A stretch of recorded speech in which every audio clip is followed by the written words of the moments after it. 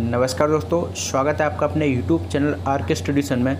दोस्तों, आज के वीडियो में हम बात करने वाले हैं मध्य प्रदेश शिक्षक भर्ती से रिलेटेड एक बहुत ही महत्वपूर्ण अपडेट के बारे में। तो दोस्तों, अगर आप चैनल पर नए हो तो प्लीज़ चैनल को सब्सक्राइब कर लेना। इसी तरह नई नई जानकारी के लिए। और दोस्तों, वीडियो पसंद आए तो प्लीज़ वीडियो को लाइक और शेयर कर देना। तो चलिए दोस्तों, स्टार्ट करते हैं आज का वीडियो। सीएम राज स्कूलों में सीधी भर्ती की मांग। तो दोस्तों, सीएम राज स्कूलों में सीधी भर्ती की मांग की जा रही है। क्या है दोस्तों पूरी न्यूज़? चलिए देख लेते हैं। शिक्षा की गुणवत्ता में सुधार के लिए प्रदेश सरकार द्वारा इस वर्ष से दो सीएम राज स्कूल प्रारंभ किए गए हैं। इनमें अन्य शासकीय स्कूलों में पहले से कार्यरत शिक्षकों को ही पदस्थापना की जा रही है।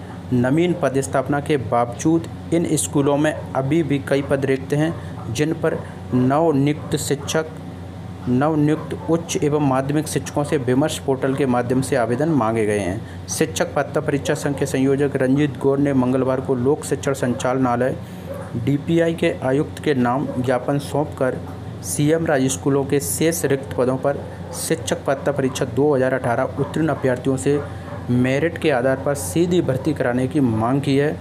तो दोस्तों, जो शिक्षक पात्रता परीक्षा संघ के जो संयोजक हैं रंजीत कौर, उन्होंने ईपीआई के नाम एक ज्ञापन पत्र सौंपा है और उसमें उन्होंने दोस्तों मांग की है कि जो शिक्षक पात्रता परीक्षा 2018 के अभ्यर्थी हैं, उनसे दोस्तों मेरिट के आधार पर सीधी भर्ती कराई जाए। इससे इन स्कूलों में शिक्षकों की पूर्ति भी हो जाएगी। साथ ही साथ अन्य पात्र अभ्यर्थियों को शिक्षक बनने का अवसर भी प्राप्त हो सकेगा। उच्च एवं माध्यमिक शिक्षकों की स्थायी भर्ती के लिए फरवरी, मार्च 2019 में पात्रता परीक्षा आयोजित की गई थी। तो दोस्तों, अगर वीडियो पसंद आए हो तो प्लीज़ चैनल को सब्सक्राइब कर लेना, वीडियो को लाइक और शेयर कर देना। Thank you.